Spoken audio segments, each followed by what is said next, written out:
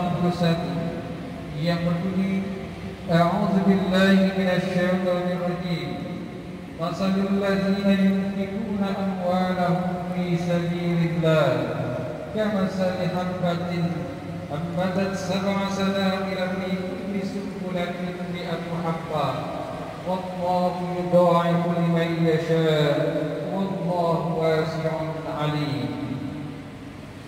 Artinya perumpamaan pahala bagi orang-orang yang menafkahkan hartanya di jalan Allah adalah serupa dengan sebutir benih yang menumbuhkan tujuh buah kulir. Pada tiap-tiap kulir terdapat seratus biji. Allah melipat gandakan pahala bagi siapa yang dikehendaki dan Allah Maha Luas karunia-Nya lagi Maha Mengetahui. Yang kedua, diumumkan kepada para jamaah bahwa Masjid Istiqlal menyelenggarakan pengajian rutin Sabtu pagi bertempat di lantai utama.